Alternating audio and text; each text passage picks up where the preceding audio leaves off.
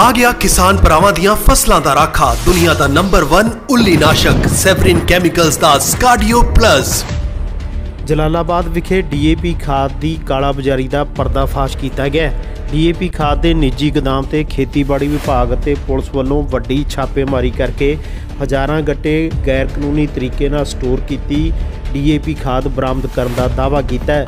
Police ਤੇ ਖੇਤੀਬਾੜੀ ਵਿਭਾਗ ਵੱਲੋਂ ਗੋਦਾਮਾਂ ਵਿੱਚ ਜਾਂਚ ਕਰਕੇ ਖਾਦ ਦੀ ਕਾਲਾਬਾਜ਼ਾਰੀ ਵਿੱਚ ਲੱਗੇ ਹੋਏ ਡੀਲਰਾਂ ਦੇ ਖਿਲਾਫ ਸਖਤ ਕਾਰਵਾਈ ਕੀਤੀ ਜਾ ਰਹੀ ਹੈ। ਉਧਰ ਕਿਸਾਨਾਂ ਨੇ ਡੀਏਪੀ ਦੀ ਕਾਲਾਬਾਜ਼ਾਰੀ ਕਰਨ ਵਾਲੇ ਡੀਲਰਾਂ ਦੇ ਖਿਲਾਫ ਸਖਤ ਕਾਰਵਾਈ ਦੀ ਮੰਗ ਕੀਤੀ ਹੈ।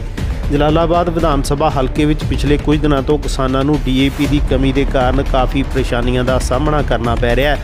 ਅੱਜ ਕਿਸਾਨਾਂ ਦੀ ਪਰੇਸ਼ਾਨੀ ਨੂੰ ਦੇਖਦੇ ਹੋਏ ਨਗਰ ਕੌਂਸਲ ਜਲਾਲਾਬਾਦ ਦੇ ਪ੍ਰਧਾਨ ਵਿਕਾਸਦੀਪ ਚੌਧਰੀ ਨੇ ਆਪਣੀ ਟੀਮ ਨੂੰ ਨਾਲ ਲੈ ਕੇ ਪਿੰਡ ਪ੍ਰਭਾਤ ਸਿੰਘ ਵਾਲਾ ਰੋਡ ਤੇ ਸਥਿਤ ਨਿੱਜੀ ਗੋਦਾਮਾਂ ਤੇ ਰੇਡ ਕਰਵਾਈ। ਇਸ ਦੌਰਾਨ ਛਾਪੇਮਾਰੀ ਕਰਨ ਗਈ ਟੀਮ ਦੇ ਹੱਥ ਇੱਕ ਗੋਦਾਮ ਦੇ ਵਿੱਚੋਂ ਹਜ਼ਾਰਾਂ ਗੱਟੇ ਡੀਏਪੀ ਖਾਦ ਦੇ ਸਟੋਰ ਕੀਤੇ ਬਰਾਮਦ ਕੀਤੇ ਗਏ ਹੈ। ਪੁਲਿਸ ਨੇ ਮਾਮਲਾ ਦਰਜ ਕਰਕੇ ਅਗਲੀ ਕਾਰਵਾਈ ਸ਼ੁਰੂ ਕਰ ਦਿੱਤੀ ਹੈ।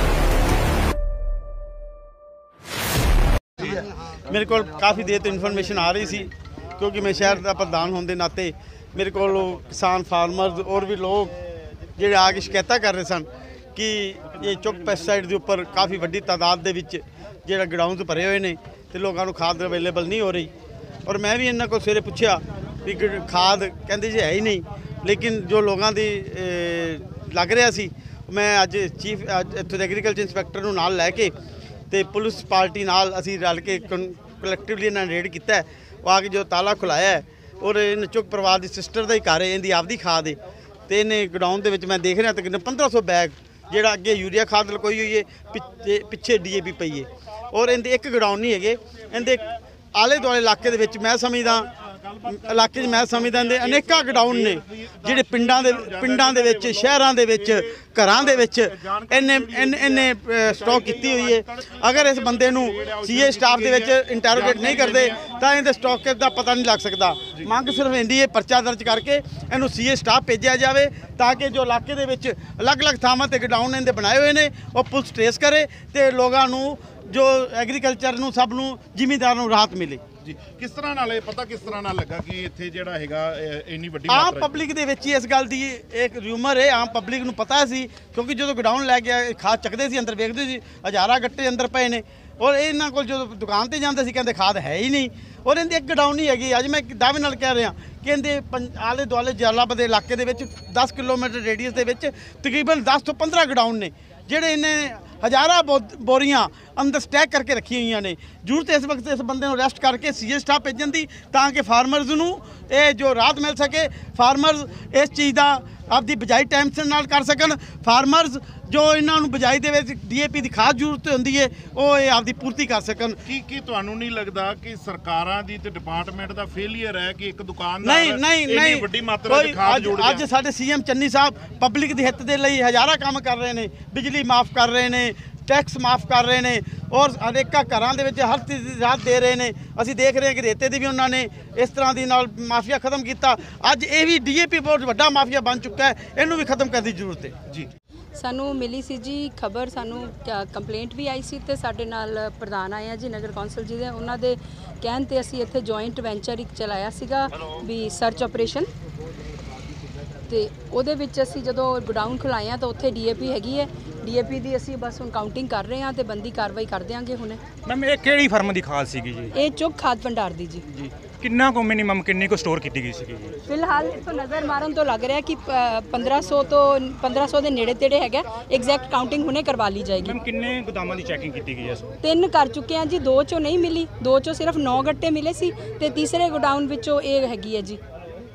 ਮੈਮ ਸਵਾਲ ਵੀ ਚੱਕੇ ਜਾ ਰਿਹਾ ਸੀ ਇਹ ਜਿਹੜੀ ਮੁਹਿੰਮ ਹੈ ਜਿਹੜੀ ਖਾਦ ਦੀ ਕਾਲਾ ਕਾਲਾ ਬਾਜ਼ਾਰੀ ਰੋਕਣ ਲਈ ਅੱਗੇ ਕਿਸ ਤਰ੍ਹਾਂ ਇਹ ਮੁਹਿੰਮ ਜਾਰੀ ਰਹੇਗੀ? ਇਹ ਜਦ ਤੱਕ ਜੀ ਕਮੀ ਪੂਰੀ ਨਹੀਂ ਹੁੰਦੀ ਉਦ ਤੱਕ ਅਸੀਂ ਇਹ ਸਟਾਕਿੰਗ ਕਿਸੇ ਨੂੰ ਕਰਨ ਨਹੀਂ ਦੇਣੀ ਜੀ।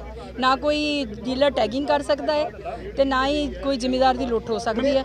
ਇਹ ਕਾਰ- ਚਲਦੀ ਰਹੇਗੀ। ਕਾਰਵਾਈ ਕੀ ਹੁਣ ਅਮਲ ਚ ਲਿਆਂਦੀ ਜਾ ਰਹੀ ਹੈ ਜੀ? ਇੱਕ ਮਿੰਟ ਕਾਊਂਟਿੰਗ ਹੋ ਜਾਏਗੀ ਉਸ ਤੋਂ ਬਾਅਦ ਅਸੀਂ ਇਹਨਾਂ ਦਾ ਗੋਡਾਊਨ ਚੈੱਕ ਕਰਦੇ ਹਾਂ ਜੀ ਆਥੋਰਾਈਜ਼ਡ ਅਨਆਥੋਰਾਈਜ਼ਡ ਜੋ ਵੀ ਬੰਦੀ ਕਾਰਵਾਈ ਹੋਏਗੀ ਧਾਰਾ ਲਾ ਕੇ ਕੰਮ ਕਰਤਾ ਜਾਏਗਾ। ਇਹ ਮੈਮ ਇਹ ਪੁਰਾਣੀ ਖਾਦ ਰਿਜ਼ਰਵ ਕੀਤੀ ਹੋਈ ਹੈ ਕਿ ਨਵੀਂ ਵਾਲੀ ਹੈ? ਚੈੱਕ ਕਰ ਰਹੇ ਹਾਂ ਜੀ ਸਾਰੇ ਗੱਟੇ ਨਿਕਲਣਗੇ ਉੱਤੇ ਡੇਟਸ ਪੜ੍ਹਦੇ ਹਾਂ ਪਤਾ ਲੱਗੇਗਾ ਨਵੀਂ ਹੈ ਕਿ ਪੁਰਾਣੀ ਹੈ ਜੀ।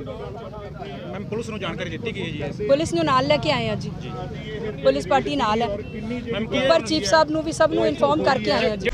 ਭਾਵੇਂ ਖੇਤੀਬਾੜੀ ਵਿਭਾਗ ਵੱਲੋਂ ਇਹ ਕਾਰਵਾਈ ਅਮਲ ਵਿੱਚ ਲਿਆਂਦੀ ਗਈ ਹੈ, ਪਰ ਦੂਜੇ ਪਾਸੇ ਕਿਸਾਨ ਜਥੇਬੰਦੀਆਂ ਦੇ ਆਗੂਆਂ ਨੇ ਕਿਹਾ ਕਿ ਖੇਤੀਬਾੜੀ ਵਿਭਾਗ ਅਤੇ ਉੱਚ ਅਧਿਕਾਰੀਆਂ ਦੀ ਮਿਲੀ ਭੁਗਤ ਦੇ ਨਾਲ ਇਹ ਡੀਏਪੀ ਖਾਦ ਦੀ ਕਾਲਾਬਾਜ਼ਾਰੀ ਕੀਤੀ ਜਾ ਰਹੀ ਹੈ, ਜਿਸ ਕਾਰਨ ਕਣਕ ਦੀ ਬਿਜਾਈ ਲਈ ਕਿਸਾਨਾਂ ਨੂੰ ਮੁਸ਼ਕਲਾਂ ਦਾ ਸਾਹਮਣਾ ਕਰਨਾ ਪੈ ਰਿਹਾ ਹੈ। ਸਾਰੇ ਹੀ ਉਹਨਾਂ ਨੇ ਸਟੋਰੇਜ ਕੀਤੀ ਹੋਈ ਹੈ। ਪਤਾ ਨਹੀਂ ਇਹ ਕਿੱਲਤ ਉੱਪਰੋਂ ਆ ਜਾਂ ਜਿਹੜੇ ਖਾਦ ਵਿਕਰੇਤਾ ਨੇ ਉਹਨਾਂ ਦੀ ਪੈਦਾ ਕੀਤੀ ਹੋਈ ਹੈ। ਅਸੀਂ ਜਦੋਂ ਜਾਂਦੇ ਆ ਇਹਨਾਂ ਕੋਲੇ, ਇਹ ਸਾਨੂੰ ਜਿੰਨੀ ਕੁ ਦਿਖਾਉਂਦੇ ਆ, ਜਿਵੇਂ ਰਾਤ ਸੀ ਅਸੀਂ ਆਈ ਆ ਉਹਦੇ ਕੋਲੇ, ਸ਼ਾਲੂ ਕੋਲੇ ਖਾਦ, ਉੱਤਮ ਖੇਤੀ ਸੈਂਟਰ ਤੇ। ਉਹਨਾਂ ਕੋਲ 700 ਗੱਟਾ ਖਾਦ ਆਈ ਹੈ, ਲੇਕਿਨ ਉਹਨਾਂ ਨੇ ਕਿਹਾ ਵੀ ਅਸੀਂ ਇੱਕ ਇੱਕ ਗੱਟਾ ਕਿਸਾਨਾਂ ਨੂੰ ਦਵਾਂਗੇ। ਉਹਨਾਂ ਨੇ 276 ਗੱਟੇ ਵੰਡੇ ਲਾਈਨ ਦੇ ਵਿੱਚ, ਬਾਕੀ ਉਹਨਾਂ ਨੇ ਜਿਹੜੀ ਖਾਦ ਹੈ ਵੀ ਉਹ ਉਧਰ ਐਡਜਸਟ ਕਰ ਲਈ। ਪਰ ਹੁਣ ਜਿਹੜਾ ਸੀਗਾ ਇਹ ਅੱਜ ਚੁੱਗ ਕੋਲੇ ਗਏ ਆ ਅਸੀਂ ਪਰਸੋਂ ਇਹਨਾਂ ਨੇ ਕਿਹਾ ਵੀ ਮੇਰੇ ਕੋਲ 2 250 ਗੱਟਾ ਖਾਦ ਆ ਇਹਨਾਂ ਨੇ ਉਹ ਟੈਂਪੂ ਤੇ ਖਾਦ ਆਈ ਹੈ। ਸਾਨੂੰ ਨਹੀਂ ਪਤਾ ਕਿੱਥੋਂ ਆਈ ਹੈ। ਉਹ ਅਸੀਂ ਬੰਦਿਆਂ ਨੂੰ 5-5 ਗੱਟੇ ਵੰਡਾਤੀ ਉਹ ਅਸੀਂ ਜਿੰਨੇ ਬੰਦੇ ਸੀ ਪਰਸੋਂ ਉਹ 5-5 ਗੱਟੇ ਜਿਹੜੇ ਤੁਹਾਡੇ ਸੀ ਵੱਲੋਂ ਰੋਪ ਲਾਏ ਜਾ ਰਹੇ ਸੀ ਕਿ ਜਿਹੜੀ ਬਲੈਕਮੇਲਿੰਗ ਹੋ ਰਹੀ ਹੈ ਇਹਦੇ ਚ ਪ੍ਰਸ਼ਾਸਨ ਅਧਿਕਾਰੀਆਂ ਦੇ ਵੀ ਮਿਲੀ ਭੁਗਤ ਹੈ। ਕੀ ਲੱਗਦਾ ਜਿਹੜੀ ਅੱਜ ਬਰਾਮਦਗੀ ਹੋਈ ਹੈ ਇਹਦੇ ਨੂੰ ਕੀ ਮੰਨਦੇ ਹੋ?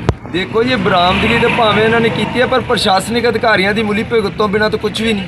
ਸਾਰਾ ਕੋਈ ਪ੍ਰਸ਼ਾਸਨਿਕ ਅਧਿਕਾਰੀਆਂ ਦੀ ਮਿਲੀ ਭੁਗਤ ਨਾਲ ਹੁੰਦਾ। ਆ ਗਿਆ ਕਿਸਾਨ ਭਰਾਵਾਂ ਦੀਆਂ ਫਸਲਾਂ ਦਾ ਰਾਖਾ। ਦੁਨੀਆ ਦਾ ਨੰਬਰ 1 ਉੱਲੀ ਨਾਸ਼ਕ। ਸੈਵਰਿਨ ਕੈਮੀਕਲਜ਼ ਦਾ ਸਕਾਡੀਓ ਪਲੱਸ ਫਸਲ ਦਾ ਝਾੜ ਵਧਾਵੇ ਵਜਨਦਾਰ ਅਤੇ ਚਮਕਦਾਰ ਦਾਣੇ। ਉੱਲੀ ਰੋਗ ਕੋਈ ਵੀ ਹੋਵੇ ਸਕਾਡੀਓ ਪਲੱਸ ਹੈ ਉੱਲੀ ਰੋਗ ਦਾ ਪੱਕਾ ਹੱਲ। ਕਿਸਾਨ ਭਰਾਵਾਂ ਦਾ ਸੱਚਾ ਤੇ ਫਸਲਾਂ ਦਾ ਪੱਕਾ ਸਾਥੀ। ਸਕਾਡੀਓ ਪਲੱਸ ਉੱਲੀ ਦਾ ਖਾਤਮਾ।